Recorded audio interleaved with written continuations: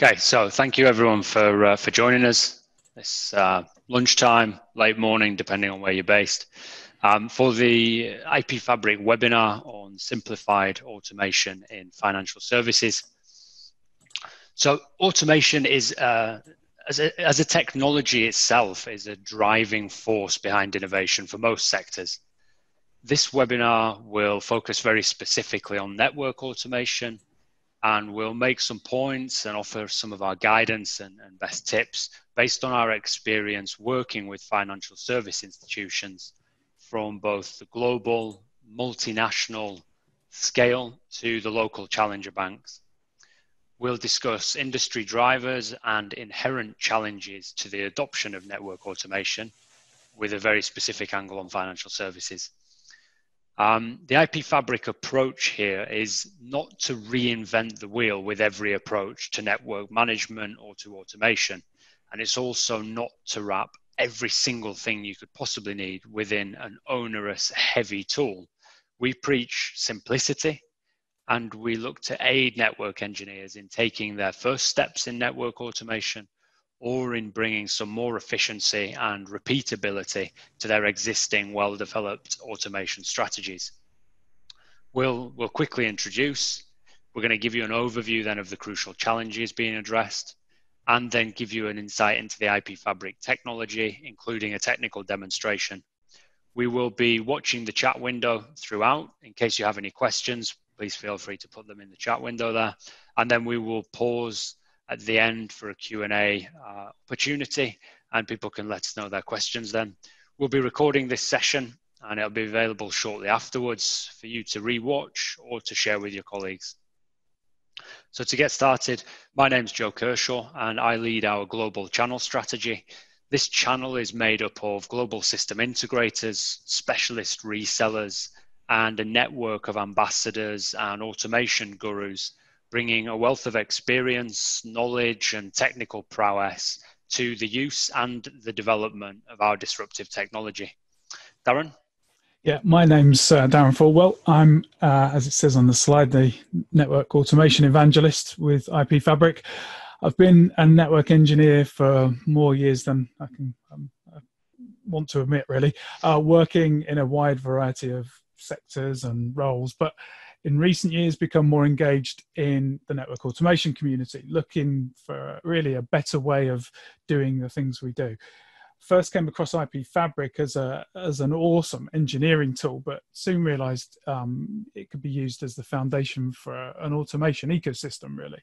Um, and joined the team a few months ago um, in order to further engagement with the network engineering community. Great. Thanks, Darren. So we're just going to dive into a brief overview of some of the challenges that we're addressing here. Then we'll give you an overview of the IP Fabric technology before a quick demonstration.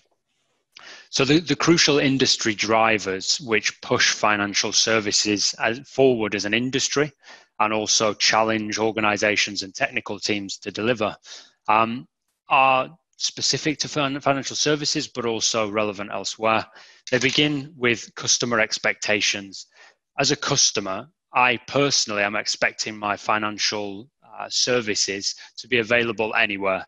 I want to be able to push through a transaction whilst I'm on holiday. I want to be able to move money between my accounts whilst on my laptop at work or connected in a coffee shop via my mobile. This experience of jumping from device to device and interface to interface needs to be seamless for me. I need to see that systems are supported, there's no pop up errors, there's no issues with my authentication. This seamless experience is crucial. And I need to know that the bank or the insurance company or anyone that I'm working with has secure data management processes, but also that these processes are transparent. The second driver in the market is competition. These ever increasing demands from the customers are opening up holes in the uh, previously bulletproof uh, reputation and service of the big banks. And fintechs and challenger banks are, are really gobbling up this opportunity. And the lack of customer loyalty is driven by this demand. It's driven by the new range of services exploding onto the market, but it's also driven by regulation. Regulation is twofold, if not many morefold, within uh, financial services. But some examples are that of PSD2, which is opening up market competition because I can now decide at the flip of a switch. I no longer want to be with this bank. I want to take my services, my money, and all my data and transition those into another organization. And the bank has no way of stopping that. PCI, on the other hand, represents a challenge for organizations because the business and the management teams see this as crucial. It's almost a certification and entry into the market that has to be watched. Whereas at implementation level for engineers, PCI represents a tick box exercise, masses of manual data checks, audit requirements which have to be maintained pre and post changes, pre and post project. It's something that's an ongoing burden for engineers the key considerations within financial services that need to be considered obviously customer expectation translates technically into customer experience. The customer experience or the customer to bank relationship is based on i will give you my loyalty and my trust in return and only in return for a perfectly delivered application experience and banking experience and a trusted brand. This brand and perfect delivery are absolutely linked to service continuity. A service outage can have massive impact on an organization's brand. With the ability of customers now to move away from their banks, service outage represents a definite impact on revenue as well. Final consideration that we touch on here is that the, the financial service organizations are looking at a global footprint. This is a global reach of customers this is single customers using their services globally, maybe wanting to access things whilst on holiday in different destinations, in strange destinations, and they will not trust this brand if the service is being blocked. This is also coupled with branch networks and a global organization of employees from banking employees that are accessing critical data to internal technical employees that are crucial for delivering the service. The business expectations do not change and they don't really care about the amount of complexity that organizations are dealing with in their technical teams. They expect single service or self service um, delivery of infrastructure so that they can spin up their applications, spin down their applications, access the data they require, and ensure that it's completely secure. We'll touch on some of the crucial challenges here before going into a lot more detail in the next slide.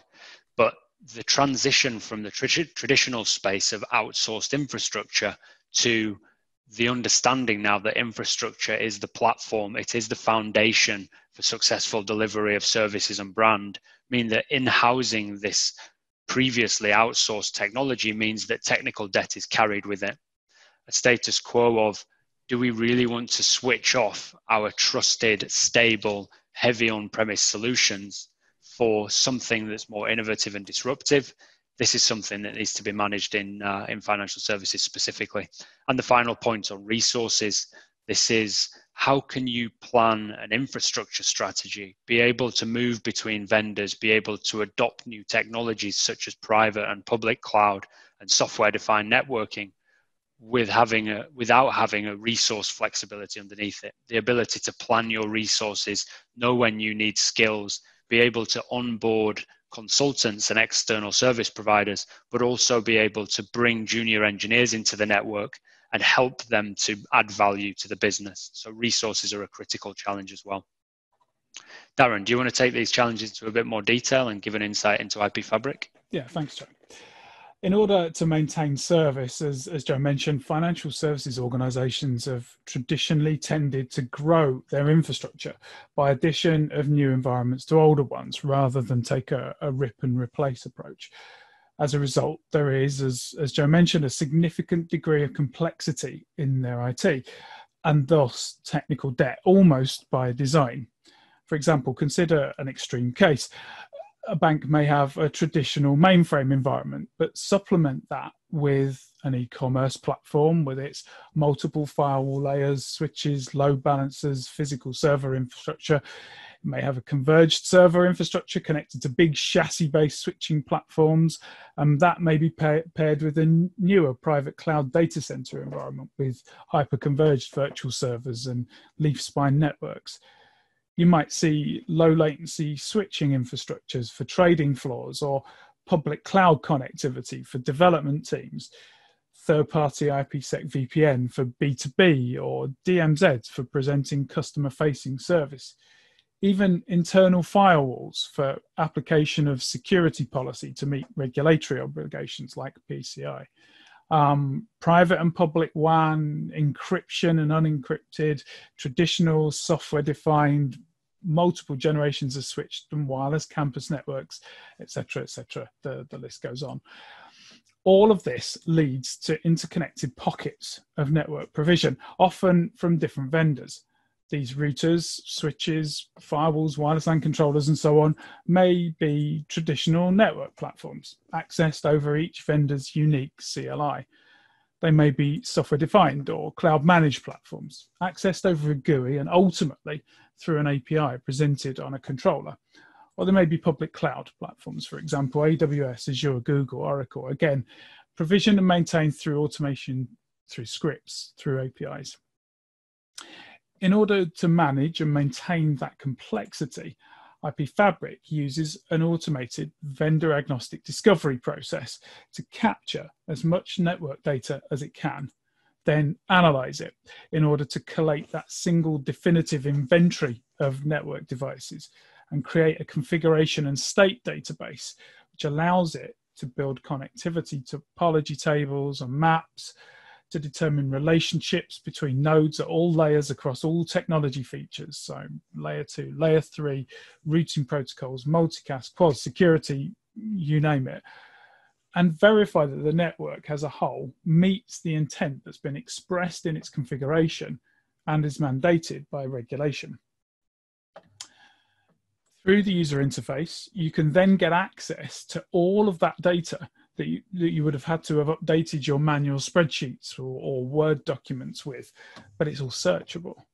All the diagrams automatically assembled and filtered to give you exactly the viewpoint that you need. Compliance check reports to verify the behavior of a network is as you expect it to be and as per your business policies and then you have path simulations and gory forensic data about the state of the technologies in, uh, deployed in your network to accelerate troubleshooting. Essentially, you've ensured your network has up-to-date deep documentation at all times. And then we come to the API, which provides access to all of that data in the platform so that IP Fabric can be used as an engine for automated network operations. Imagine being able to discover new devices when they're added to the network, to update your monitoring platform automatically, then go back to the devices and run an Ansible playbook to update their configuration to allow them to be monitored.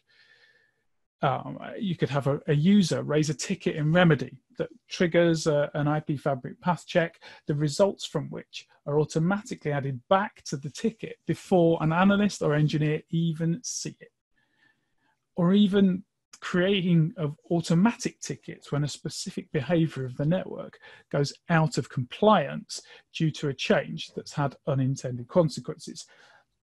The, the possibilities are limitless. But the first stage to automating network operations is to have that thorough and accurate inventory. And many of the initial network projects started by network engineers concern themselves with the discovery of that inventory. IP Fabric can shortcut that process by carrying out that discovery and analysis for you, leaving you to focus on the real value adds of automation. And our community of partners and customers are working on these types of projects right now with IP Fabric at the heart of the ecosystem, collecting, analyzing, and making sense of the network. So we're going to go into uh, a quick demonstration of some of the features of IP Fabric um, in order to show you just exactly how we can use the uh, the platform in that form. Just bear with me while I just as Darren's transitioning across. Um, feel free, if anything isn't completely clear during the demonstration, to just ping a message through on chat and I'll answer you as best as possible. But of course, this demonstration is just a teaser, give you an idea into some of the capabilities so you can get in touch with us afterwards and go into a lot more detail to your specific use cases. Thanks, Joe. So hopefully you can now see the, the demo screen. We can. Um, and I'm just going to full screen that. There we go. So uh, as you can see, IP Fabric is a snapshot-based system. It records a discovered inventory, topology, configuration, and state of the network in a point of time database. The discovery process is very efficient in terms of approach and time taken and storage space used. Rather than port scanning everything it finds and triggering security alerts, the network the system walks the network in the same way that a network engineer would if they were logging in for the first time and you can see here for the um, our demo environment has 600 odd devices um, in 11 minutes we were able to to discover the uh, the updated state um, on disk that's stored in a, in a mere 19 meg. So uh, very efficient. Most customers will run those snapshots once or twice a day, though there's no limit to how often you run it, as long as you've got the bandwidth available and the storage space. You can limit the number of concurrent sessions um, into devices and you can limit the amount of bandwidth that those sessions consume. So you're minimizing the impact on the network at large when those snapshots are being run.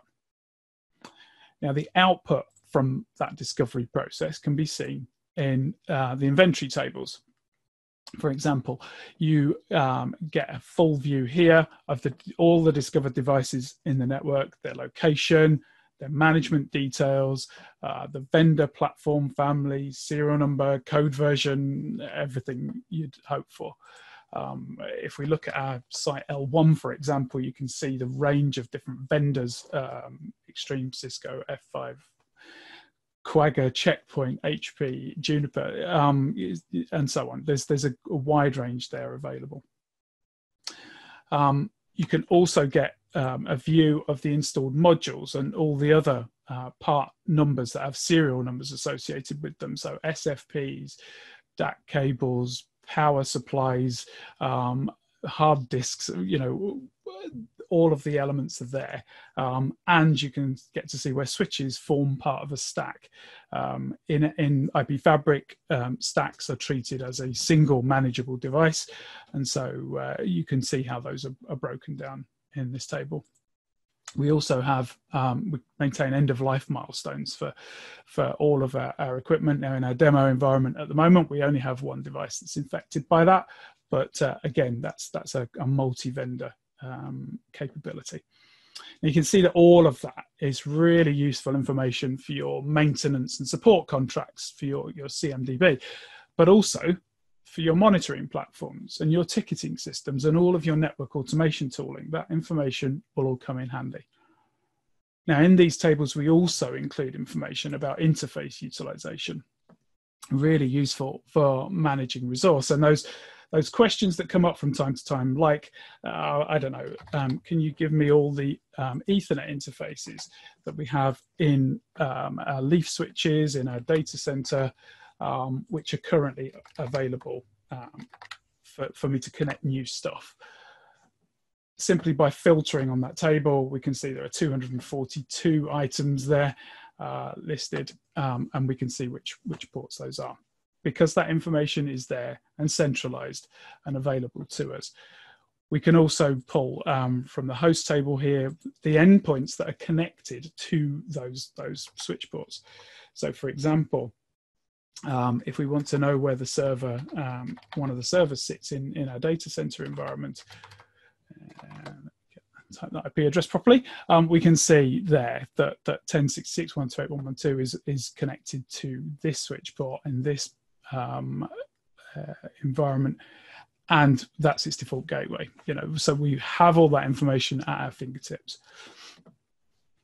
And all of this information is not only available through this web ui but we have the opportunity to export that um, out either to csv um, or if we click through in here, it can demonstrate that all of that's available through the API as well. And in fact, IP Fabric will tell you how to retrieve that information through the, the API. You can simply take that payload, paste it into Postman or, or um, into your uh, Python scripting and be able to, to retrieve that information directly.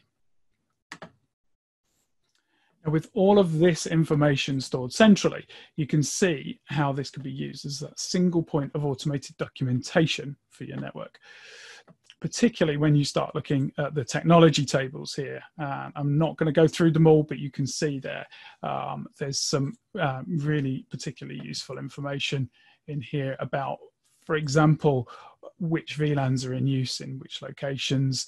We've got information about spanning tree. We've got information about routing, MPLS, multicast, security, quality of service, all of the, um, the gory um, configuration information you might need, but all in one place.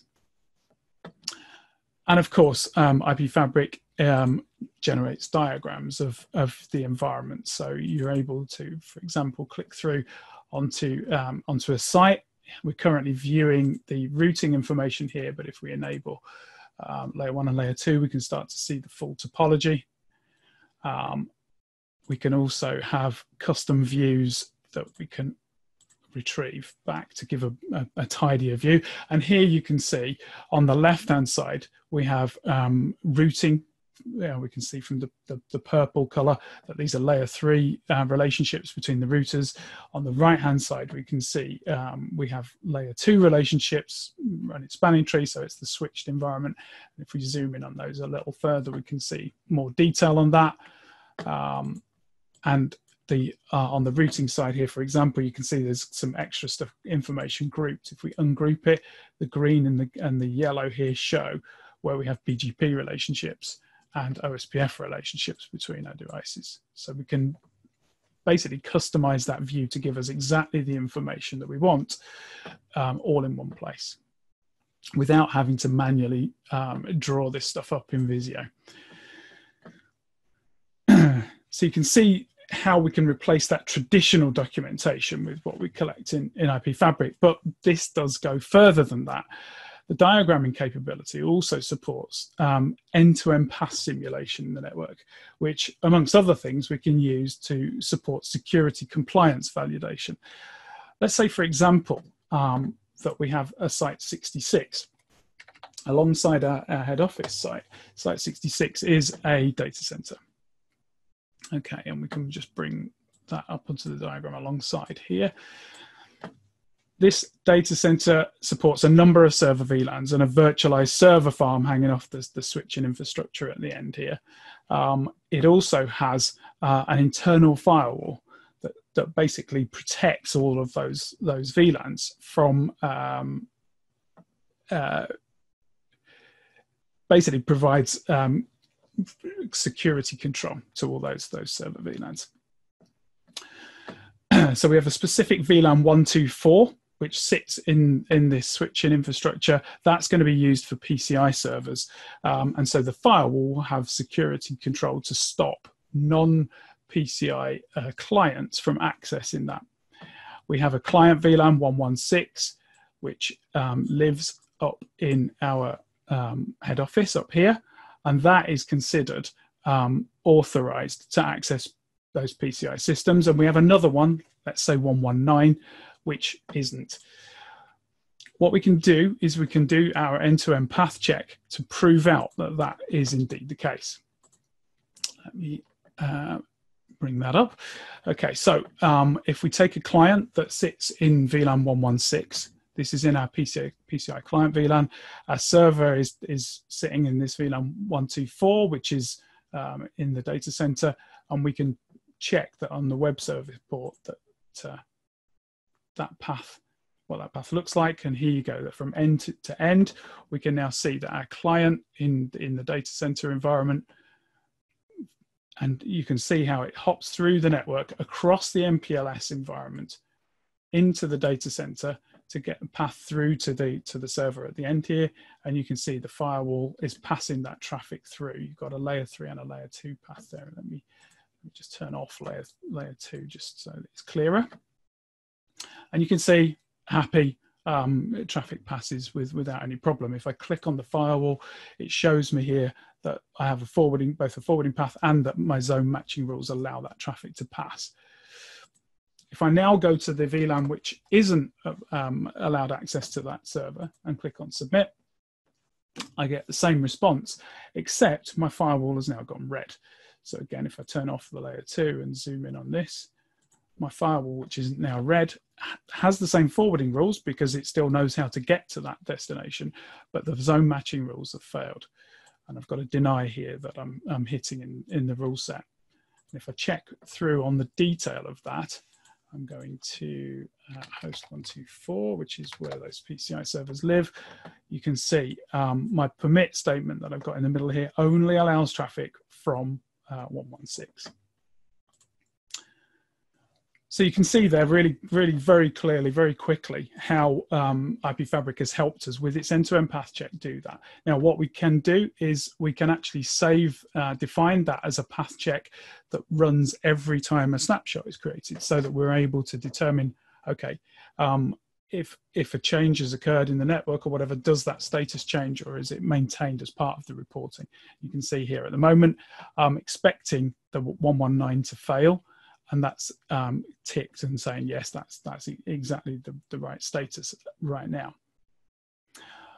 But imagine we need to make raise a change. All of a sudden things change. Things in networks change all the time right? So we need to um, ensure now that VLAN 119 is allowed to access the PCI um, servers. Perhaps we've got a, a, new area in, in the network, in the head office, a new team uh, set up that need access to, to that platform. We can use this end-to-end path check now as um, change validation, pre and post change validation. So we've already here, we can see pre-change, things are, are, are blocking the firewall for those things. But let's, let's raise a change. Let's change the configuration of the firewall and see how um, the end-to-end path check can be used to prove that the change is completed successfully. So if you bear with me here, as um, the demo gods being with us, um, hopefully we should be able to, to log in to the, the firewall and do that very thing.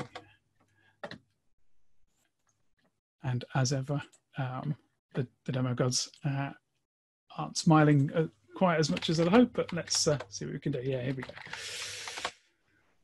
go. so I'm just going to go into the configuration mode um, on here, and the uh, thing I need to do is I need to edit the address book. Um, there we go. So I need to edit the security uh, address book um, on the firewall.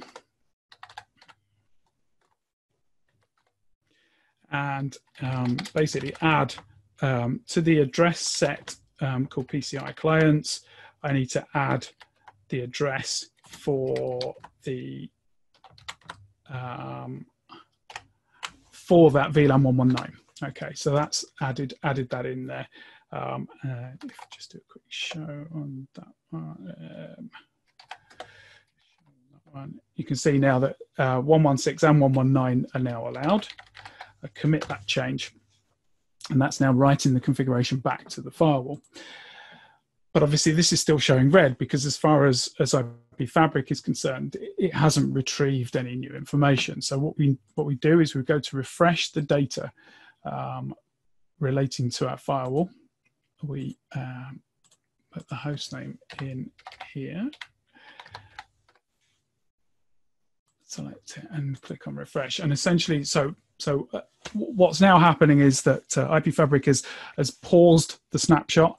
Um, it's basically making that unavailable for people while it goes ahead and refreshes that information.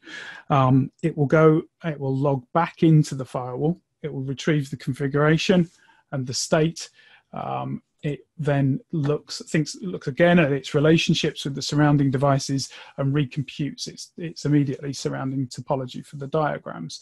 Now, obviously, if we'd made a change that was further reaching, um, that had an impact on routing tables or on MAC address tables or, or um, state wider in the network we'd have had to have um, gone away and fetched a, a, a wider scope of, of state uh, in the rediscovery. But because we're just focusing on the security rules on, on the one device, um, we can focus on, on just rediscovering the, uh, the firewall there. So while that progresses, Now, um, as, I, as I say, what we're doing here, we're, we're proving out that uh, from a from a change as, as part of a change process, this is how you be built into the uh, into the, the tasks that you'd do. You'd have a, a capture of the, the state before the change, make the change itself, capture the state after the change, and then as part of your um, your mop up of the change um, process, you would then execute these checks. And what we can now do is we can go through to the uh, the end-to-end path, uh, submit that, and we can see that our firewall has now gone blue. Um, that if we click through there, um, our zone matching rules are good, and um, that if we check on the uh, host 124, which is where the, the server sits, we can now see that 119 has been added into the, the list of, of addresses that are allowed access to that server. Um, and just to prove it, we can try um, another uh, VLAN that we haven't granted access to just to prove yes it is still failing. So we haven't opened up configuration to everything. Um, we've we've limited it to to just the uh, um, the items in the change in VLAN 119 specifically. Hopefully, um, you know, we've we've not gone through a comprehensive demo there, but we've shown just how IP Fabric can address some of the inventory and compliance requirements on the network through its automated discovery and its intent verification capability. Um, what we'll do now is we'll just pause this and we'll head back to the uh, back to the the uh, presentation. Just bear with me.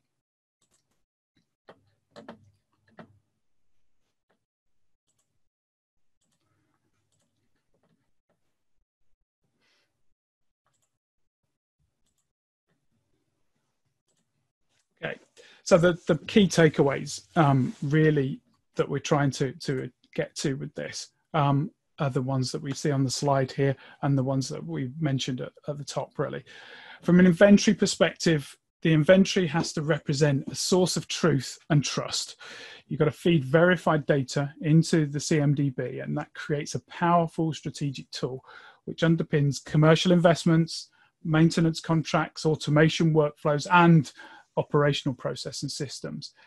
Leaving this to be manually maintained introduces unnecessary risk and operational inefficiency.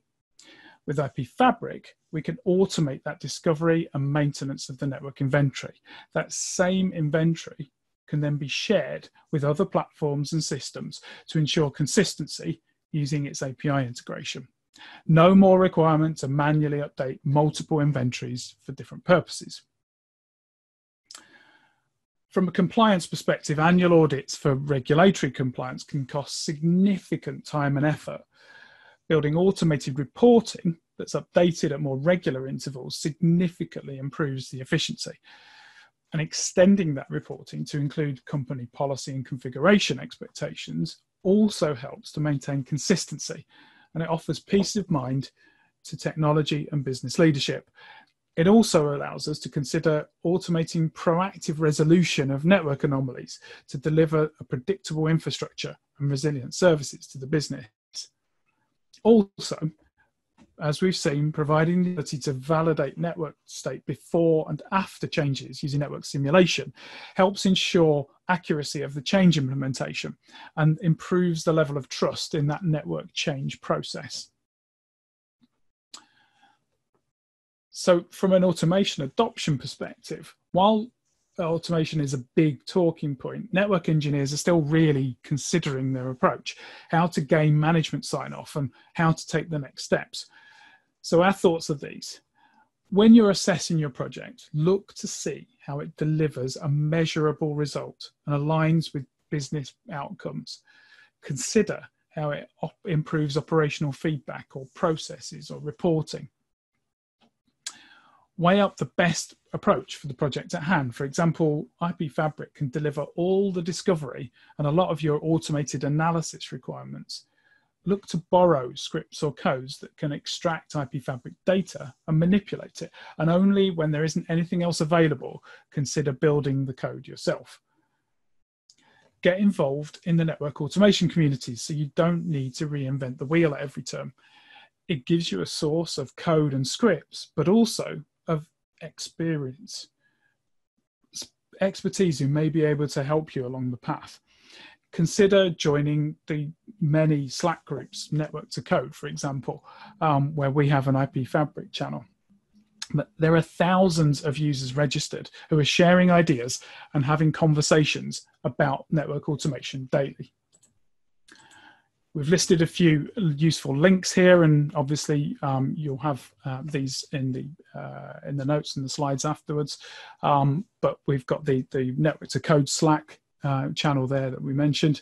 Um, our YouTube channel, there's videos there on um, using APIs and and our um, automation uh, adventures series where we're, we're walking through using IP Fabric as the, the center of that automation ecosystem.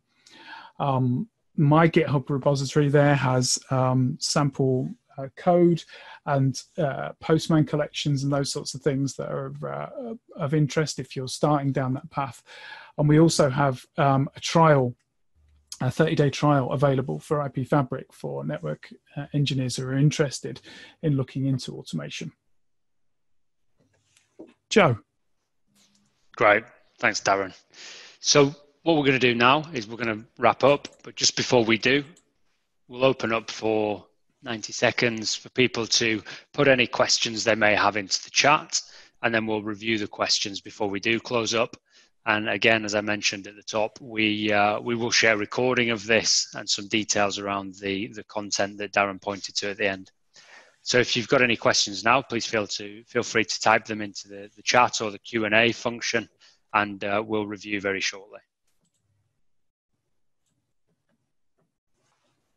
Okay, we've just had uh, had one question come in there, so we'll I'll pick that one up before we uh, uh, get any others. So so uh, Martin asked how difficult it is to deploy um, IP Fabric in the environment it's a very very simple deployment. It's um, it, it ships as a as an OVA, um, single OVA that you install on a on a relatively small virtual machine um, under VMware.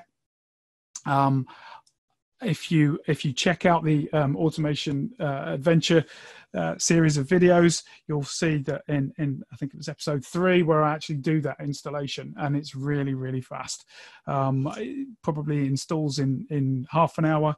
Um, and the first discovery, well, you've already seen how quick a discovery is in the network. It can you can literally within a day you can have an environment up and running and and um, providing an instant investment return. Great, thanks, Daren. So just one more question coming here. So thanks for answering that one. One question here is, how does IP Fabric actually help with compliance? Fairly uh, straightforward question, but uh, do you want to take that one, Daren? yeah, sure. Yeah, uh, it's, it's, a really good point, actually. It, uh, with the um, intent verification capability, we're able to report on um, uh, being able to, to run checks against configuration and uh, and so on. And so those those reports run every time a snapshot is created. Um, so so daily or twice daily, uh, and so you're able to get an uh, uh, you know automated instant um, view, I suppose, on on how configuration in the network and how state of the network is um, uh, meets or, or doesn't the the uh, the stipulations within regulations. Compare and contrast that with um, what what used to be the case for for PCI um, regulation, where you may maybe take half of your network team off for a week to go and manually trawl through the network, um, collating all the information they, they needed to in order to meet those those audit requirements. Um, you can see a, a sort of big improvement there. Great, thanks, Daren. So if there's no more questions, guys, let's uh, let's wrap it up now. And uh, again, we'll get the recording across to you with all the content. But realistically, this was just meant as a bit of a teaser. Want to get you interested? Feel free to reach out to us via LinkedIn or via email. And, uh, and we'd love to set up a separate demo to do a one-to-one with your teams and go into the, the nuances of your own environment and the crucial challenges that you're facing as a networking team really look forward to seeing you guys in the uh, in the Slack channel and getting involved in the community. And uh, hopefully, we can speak to you again soon. So, thanks again for joining. Yeah, thanks for your time, everybody. Thanks, Daren. Cheers.